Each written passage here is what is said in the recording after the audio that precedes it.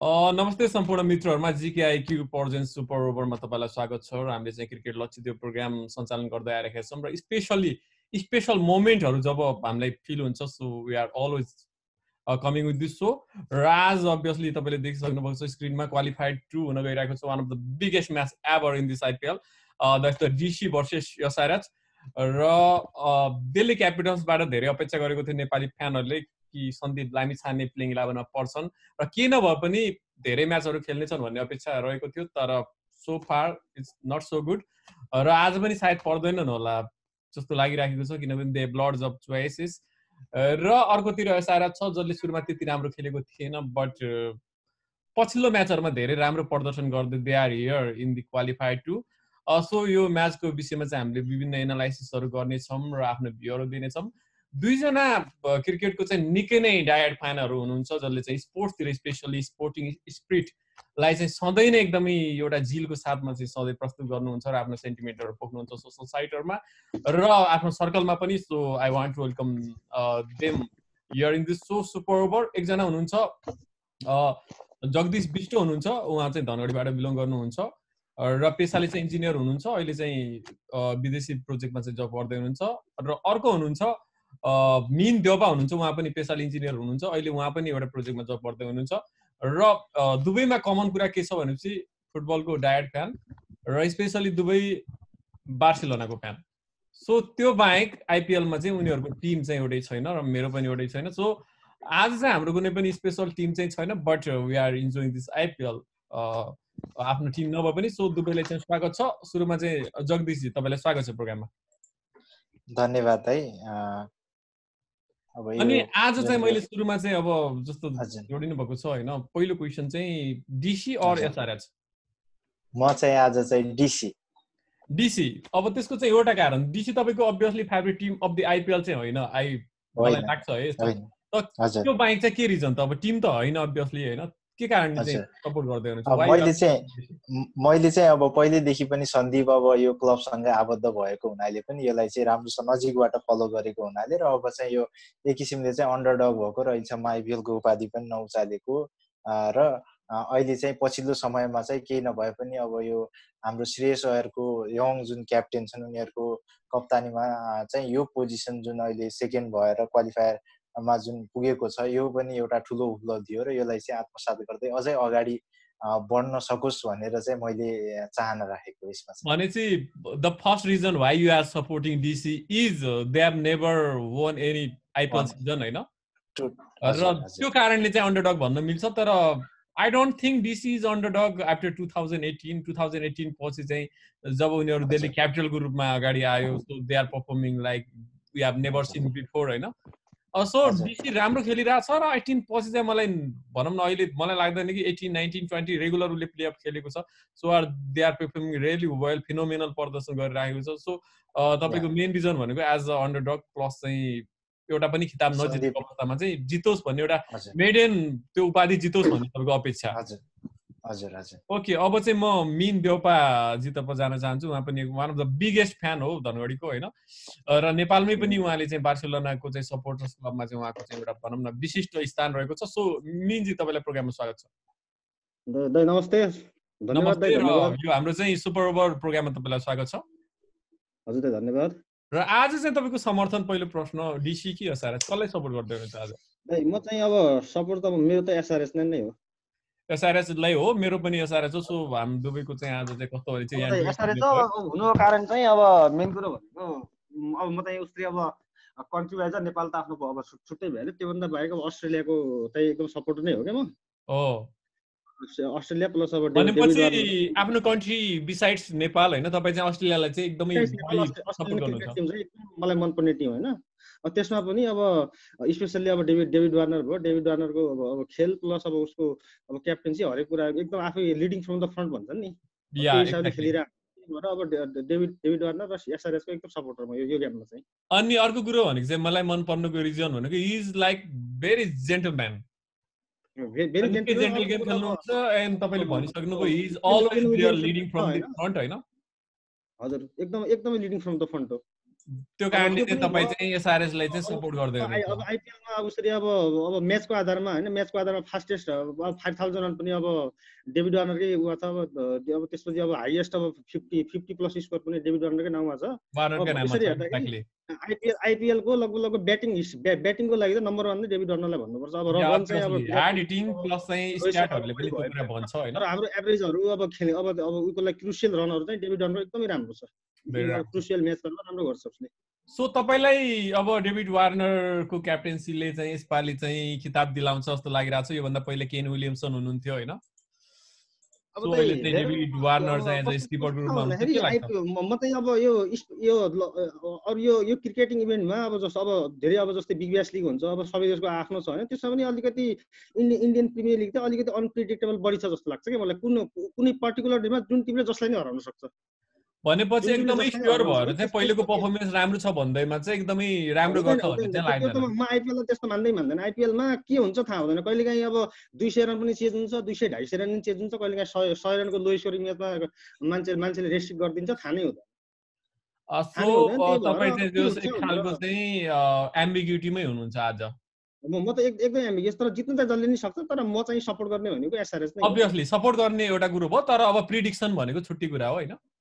यो प्रिडिक्सन छुट्टै कुरा अब जेनी हुनु तपाईँ लाइक तपाईँ चाहिँ डिलेमामा हुनुहुन्छ तर सपोर्ट चाहिँ एसआरएस ओरेन्ज आर्मीलाई सपोर्ट चाहिँ एकदम एसआरएसलाई okay same here from my side पनि भयो अब एउटा कुरा अब सन्दीपलाई योपालि आस्ति होइन अब विदेशी टुर्नामेन्टमा उता उता क्यारिबियन प्रिमियर लिगमा पनि राम्रो गरेको छ र दिल्ली दिल्लीले खेलाएन त्यो चाहिँ एउटा कस्तो हुन्छ भन्दाखेरि एउटा नेपाली भइसक्यो अलिकति हुन्छ नि।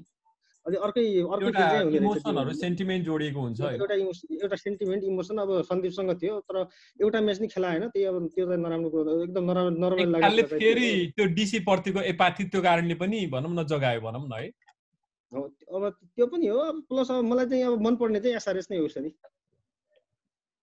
ओके अब चाहिँ म जगदीशजीतर्फ जान चाहन्छु। जगदीशजी। हजुर हजुर सुन्दा। के न्यू इयर्स जस्तो आज डिसीले चाहिँ के कारणले चाहिँ भनौँ न अथवा चाहिँ कुन डिसीको चाहिँ प्लेयर चाहिँ तपाईँलाई चाहिँ प्लेयर्स टु वाचको रूपमा देख्नुहुन्छ? आज चाहिँ लाइक शिखर धवनले ब्याक टु ब्याक सेन्चुरी हानेर चाहिँ एक खालको चाहिँ सनसनी नै मचाएको थियो। तर फेरि त्यो पछिको चाहिँ हामीले पछिल्लो एक दुईवटा म्याचहरूमा चाहिँ त्यस्तो पर्फर्मेन्स देखिराखेको छैन। श्रेष अहिलेको क्याप्टेन्सीलाई लिएर पनि एक खालको चाहिँ भनौँ न मान्छेमा चाहिँ सस्पेक्टफुल त्यो देखियो। त्यति राम्रो क्याप्टेन्सी भएन भन्ने खालको धेरै आयो। र जस्तो तपाईँको चाहिँ रबाडाको पनि पर्फर्मेन्स हेर्ने हो भनेपछि not up to the last few matches होइन। नै बढी छ होइन एक्सपेन्सिभ साबित भएका छन्।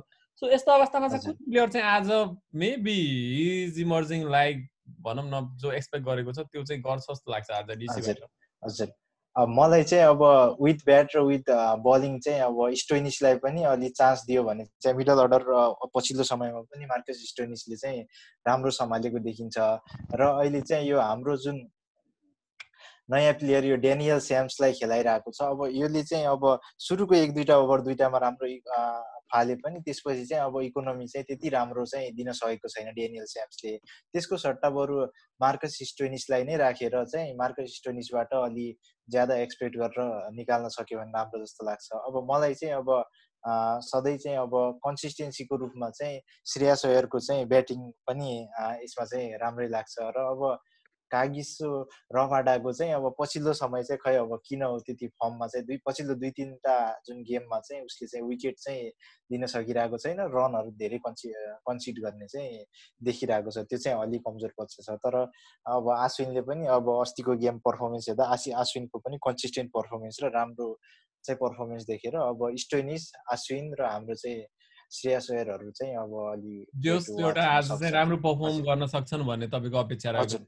र जस्तो अजिङ्क्य राणे यदि आज प्लेइङ इलेभेनमा खेल्छन् भनेपछि के लाग्छ अजिङ्क्य राणे पृथ्वी शाहहरूले चाहिँ आज पर्फर्मेन्स दिन सक्छन् त सुरुवातमा प्रारम्भिक एउटा राम्रो साझेदारी गर्न सक्छन् जस्तो लाग्छ?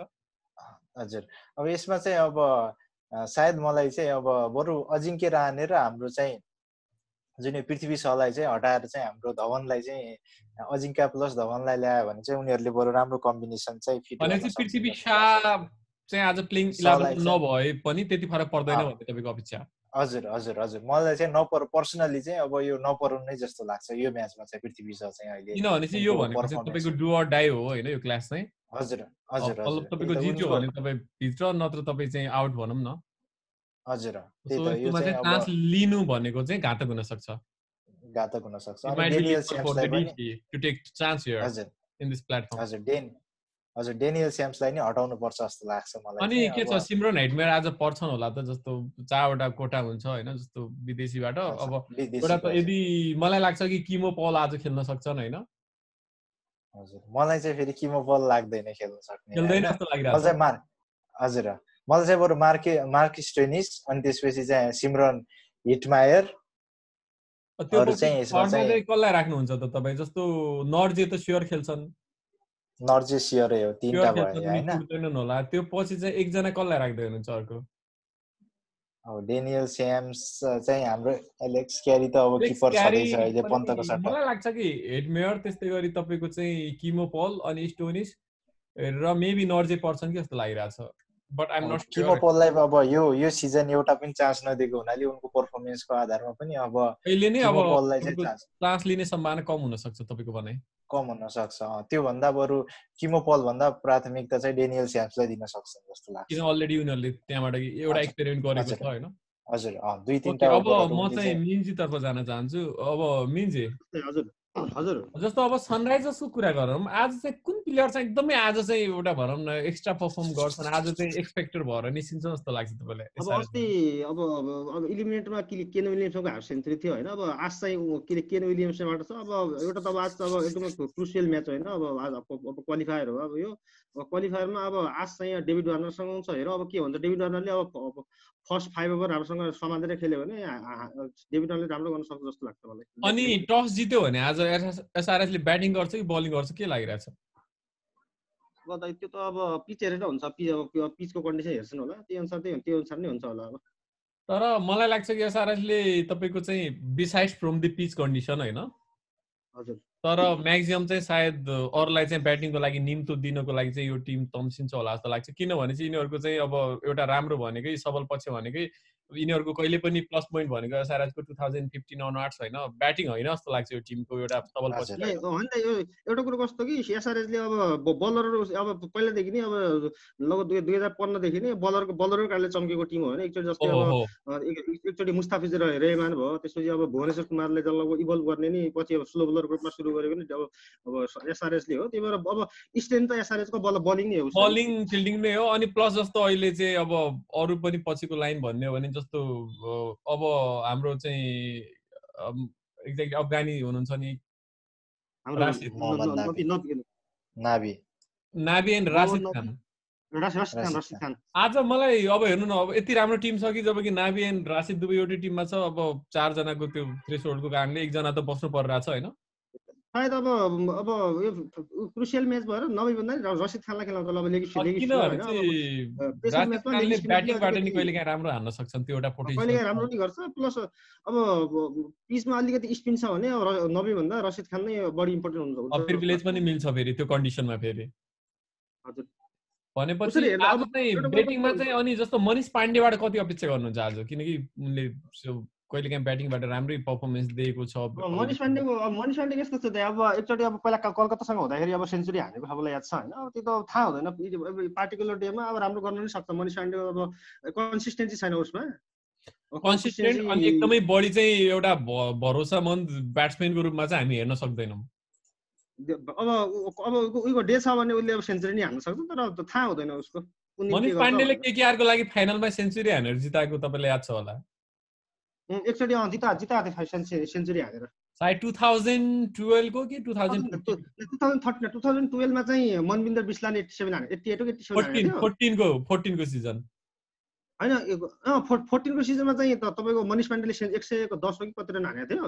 त्यसमा चाहिँ उता तपाईँको चाहिँ पन्जाबबाट अर्को प्लेयरले नै हानेको थियो तर काम पन्जाबबाट पन्जाबबाट मयङ्क अग्रवाल। होइन होइन। अग्रवाल होइन। तपाईँको अहिले पनि त्यो प्लेयर खेल्छ राम्रै खेल्छ होइन। अहिले आरसिबीमा को छ भन्नुहोस् त? आरसीमा रिद्धिमान शाह। ऋद्धिमान शाह ऋद्धिमान शाह ऋद्धिमान तर शाह। आरसिबीमा छ ऋद्धिमान कि शाह अहिले सेन्चुरी चाहिँ ठ्याक्कै अहिले कुन टिममा छ स्क्वाडमा भने चाहिँ जस रिद्धिमानले नै हानेको होइन। हानेको थियो। सो त्यो चाहिँ पाण्डेको कन्सिस्टेन्सी नभएर अलिकति समस्या हो तर टेक्निक टेक्निक वाइज त अब पाण्डे नै राम्रै छ। अब त्यही हो कन्सिस्टेन्ट हुन सक्नु पर्यो अनि आज विदेशी चारजनामा चाहिँ को पर्छ जस्तो लागिरहेको छ तपाईँलाई? चाहिँ राशिद खान एउटा एउटा त अब अब अब तिनजना त अब दुईजना त अब हाम्रो एउटा एउटा क्याप्टन अब डेभिड वार्नर भइहाल्यो। दोस्रो चाहिँ केन विलियम केन विलियमसनलाई खेलाइहाल्छ। अस्तिको अब त्यो भयो। त्यसपछि अर्को चाहिँ अब अब एउटा राख्ने पऱ्यो अब तपाईँको रसिद खान भयो। एउटा चाहिँ अब एउटा एउटा फास्ट बोलर अथवा उमा चाहिँ जेसन होल्डर राख्छ कि अस्तिको टिमको टिमको कन्टिन्यू गर्ने वार्नर विलियमसन राशिद र होल्डर अथवा चाहिँ मेबी तपाईँको चाहिँ उसको सम्भावना के देख्नुहुन्छ तपाईँ चाहिँ? बेस्टरको? बेरिस्टोको बेरिस्टोको हुन सक्छ। अब त्यही अब बढी सम्भावना चाहिँ तपाईँको तिनटामा चाहिँ अब एउटा तपाईँको डेभिड वार्नर के केन विलियमसन र रसिद खान चाहिँ सायद बस्छ। अब होल्डर र बेरिस्टोमा के गर्छ भन्ने कुरो एकजना पर्न सक्छ। त्यसमा चाहिँ अहिले हामी अनडिसाइडेड छौँ है हो त्यसमा होल्डर र बेरिस्टोमा अब अस्ति अब होल्डरले नै अब अब चौबिस रन हानेको थियो होइन। अब स्ट्राइक राम्रो नभयो भने अब आएर चौबिस रन हानेको थियो अब त्यसलाई कन्टिन्यू पनि दिन सक्छ अथवा पिच कन्डिसन अनुसार बेरिस्टो पनि बस्छ कि। बेस्टोलाई पनि राख्न सक्छ। ओके अब चाहिँ हामी डिसी तर्फ जान चाहन्छौँ। जगदीश हजुर। जस्तो अब दुवै टिमको चाहिँ हामीले पर्फर्मेन्सको कुरा गर्ने हो भने चाहिँ कस्तो भनेपछि एकदम तपाईँको चाहिँ कन्सिस्टेन्सी दुवै टिममा छैन होइन?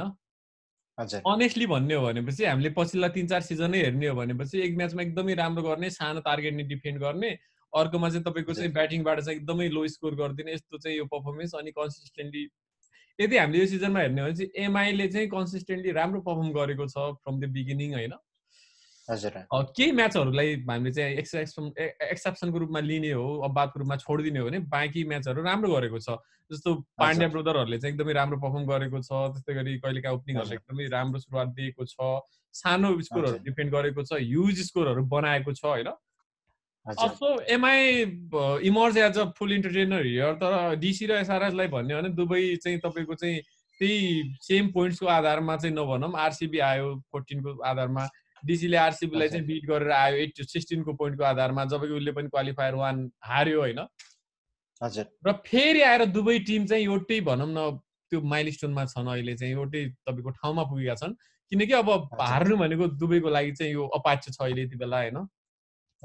जो चाहिँ अस्वीकार्य छ भनौँ न। सो यो कन्डिसनमा भन्दाखेरि चाहिँ अब मलाई पर्सनली अब भनिसकेँ एसआरएसलाई सपोर्ट गर्छु तर मेरो लागि पनि यो भनेको फिफ्टी फिफ्टी म्याचै हो। किनभने चाहिँ डिसीले नै सुरुवातमा निकै राम्रो पर्फर्म गरेको थियो र म सुरुको सात आठ म्याचसम्म त यस्तो भनिराखेको थियो। धेरै साथीहरू डिसी त्यति रिलायबल टिम होइन के के भन्दाखेरि चाहिँ म भन्थेँ भने डिसी भनेको अहिलेको यो नयाँ दिल्ली हो होइन। It's a New Delhi.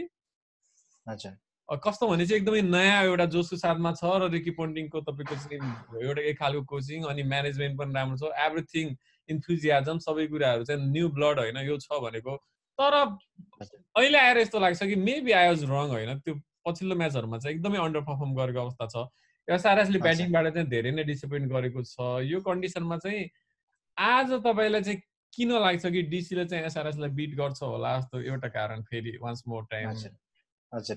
अब यसमा चाहिँ के छ भन्दाखेरिमा अब उसले पनि अब पछिल्लो सि यो जुन गेम म्याचहरू जितेको छ धेरै जस्तो भनेको चाहिँ डिसीको पनि बलर चम्केर होइन? रबाडा र हाम्रो हजुर र रबाडा र जुन हाम्रो एनरिच नर्जेको चाहिँ जुन बलिङ छ त्यो हजुर हजुर डिफेन्ड गरेको छ। एउटा त्यो पनि हो। दुइटैको अहिले मैले ठ्याक्कै देख्न खोजेको भनेको दुइटैको एउटा स्ट्रङ पोइन्ट भनेको चाहिँ बलिङ नै हो। तर के छ भन्दाखेरिमा अब जुन डिसी र सनराइजरको चाहिँ हाम्रो जुन ब्याटिङ लाइनअप छ त्यो चाहिँ कहिले पनि मतलब धराशायी टाइपको छ कि भनरेबल टाइपको छ त्यो एक खालको फ्रेजाइल भनौँ न एकदमै रिलायबली कन्सिस्टेन्टली एउटा विकेट गयो भने अर्कोले पनि हान्ने भन्ने छैन कि? जस्तो गयो भने जाने खालको छ।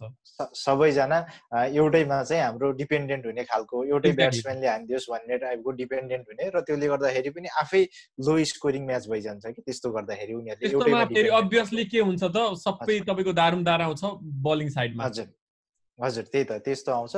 अब आज चाहिँ मैले एउटा ब्याटिङ लाइनअपलाई चाहिँ अब दिल्लीले चाहिँ सुधार्नुपर्छ जस्तो लाग्छ। त्यसको लागि चाहिँ अब अन्तिम ओभरहरू जुन डेथ ओभरहरू हुन्छ लास्टमा चाहिँ अब हाम्रो स्टोइनिसले पनि जुन हाम्रो स्टोइनिस प्लस हाम्रो चाहिँ यो सिमरन हिटमायरले पनि के छ त भन्दाखेरिमा पछिल्लो म्याचहरूमा अन्तिम ओभरहरूमा चाहिँ त्यो रन रेटलाई उकास्ने कामहरू चाहिँ अघिल्लो केही म्याचहरूमा पनि गरेको छ र त्यसले गर्दाखेरि चाहिँ सिमरन हिटमायर हाम्रो मार्कस स्टोइनिस तपाईँले चाहिँ हिटमायर र स्टोइनिसबाट एक खालको क्यामियोको एक्सपेक्ट गर्नुहुन्छ?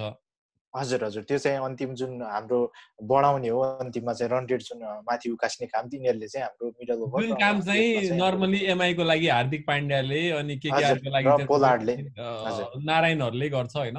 हजुर हजुर हजुर। त्यो काम चाहिँ आज स्टोनिस र गर्न सक्छ भन्ने तपाईँलाई लागिरहेछ हजुर अनि यो अक्षर पटेल र जुन हाम्रो रविचन्द्रन अश्विन पनि कहिले काहीँ के छ त भन्दाखेरिमा यिनीहरूको पनि ब्याटिङ लाइनअपमा चाहिँ पछाडि राम्रो देखिएको छ र सबैले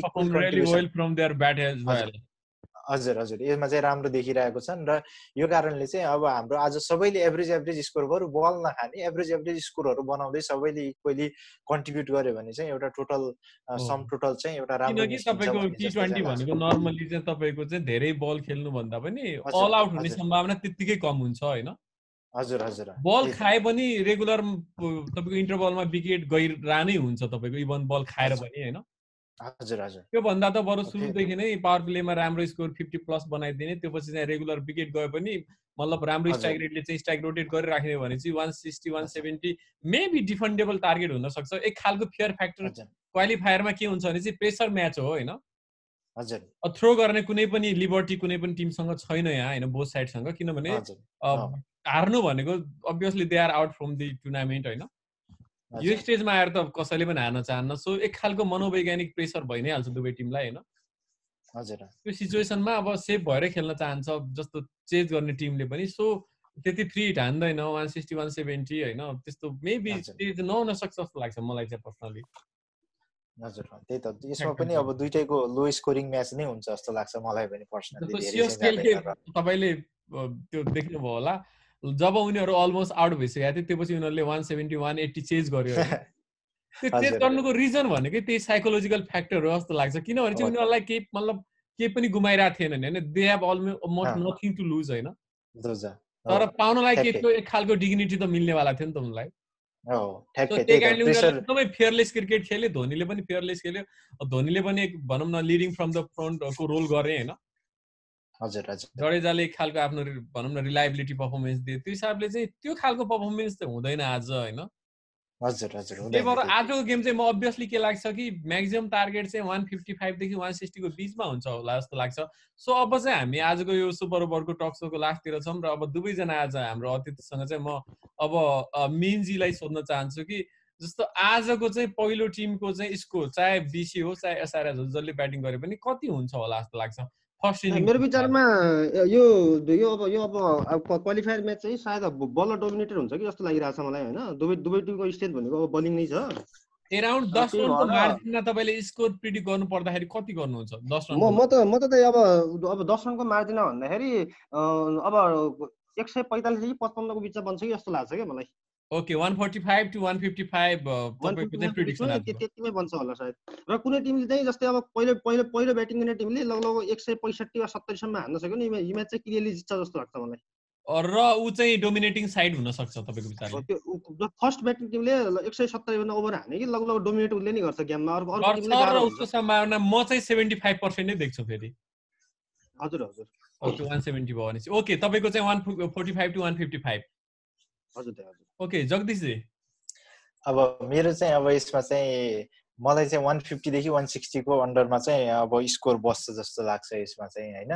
जुन भयो नि फर्स्ट हजुर हजुर फर्स्ट टिम भयो भने उनीहरूले चाहिँ के गर्छन् भन्दाखेरिमा आफ्नो चाहिँ टार्गेट भनेको सकेसम्म बढाउन खोज्ने नै हो। रन रेटलाई चाहिँ अन्तिममा गएर उकास्ने र बढाउन खोज्ने नै हो। र यसले गर्दाखेरि वान फिफ्टीदेखि वान सिक्सटी गयो भने चाहिँ म्याच चाहिँ के छ त भन्दाखेरिमा बलिङ स्ट्रेन्थ दुइटैको भावनाले अलिक कम्पिटेटिभ पनि हुन्छ जस्तो लाग्छ कि यसमा चाहिँ। र अब सेकेन्ड यसैमा म अलिक थप्छु जस्तो फेरि यसैमा सत्र ओभरसम्म पनि तपाईँको वान थर्टी भयो भने फेरि यो स्कोर चाहिँ बढेर वान सेभेन्टी पुग्ने सम्भावना धेरै हुन्छ फेरि पहिलो इनिङमा। हजुर हजुर किन भनेपछि अठार बलमा उनीहरू चाहिँ कमसे कम छत्तिस हजार चालिस रन बनाउन सक्छ होइन? किन त्यति जब सत्र ओभर पुगिसकेको हुन्छ साइकोलोजिकली कसैको माइन्डमा पनि विकेट बचाउने मतलबै हुँदैन त्यो पछि। हजुर ठ्याक्कै। म्याक्सिमम् तपाईँको चाहिँ अब चाहिँ रन कलेक्ट गरौँ अथवा चाहिँ कसरी हुन्छ बटुलम भन्ने हुन्छ। अर्को कुरो भनेको चाहिँ कुनै निश्चित डिमार्केसन लाइन हुँदैन त्यो रनको यति नै बनाउनु छ भन्ने पनि हुँदैन।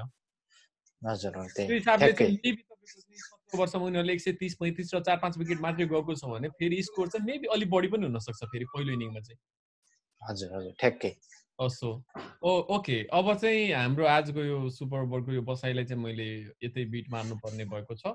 र मेरो चाहिँ अब स्कोर चाहिँ one fifty two one sixty भनौँ न हाम्रो तिनैजनाको चाहिँ उस्तै उस्तै किसिमको रहेको छ। पाँच रन तल माथि भनेको नट भनौँ न मार्जिनल वान। सो हाम्रो दुईजना अतिथिहरू जगदीश विष्ट र मिन देवपाजीलाई चाहिँ मैले अन्तरस्टरबाट धन्यवाद दिँदै दुबईबाट बिदा हुन चाहेँ।